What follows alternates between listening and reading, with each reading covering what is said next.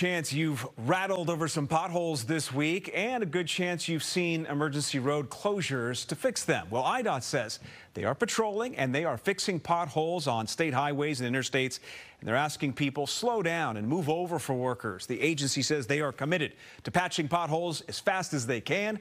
To report one, you can call 800 452 IDOT.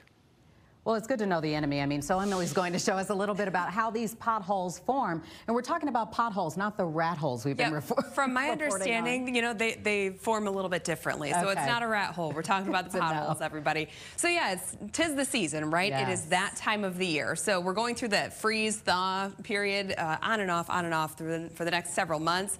That's going to continue. And that's exactly going to be the recipe that forms all these potholes. So first and foremost, what happens here is you have the traffic going over the same locations. So then you start to see the pavement weakening a little bit. And as we get those cracks developing, when we get some rain coming through, it's going to fill into those cracks. Then you get a little bit of pooling underneath the pavement.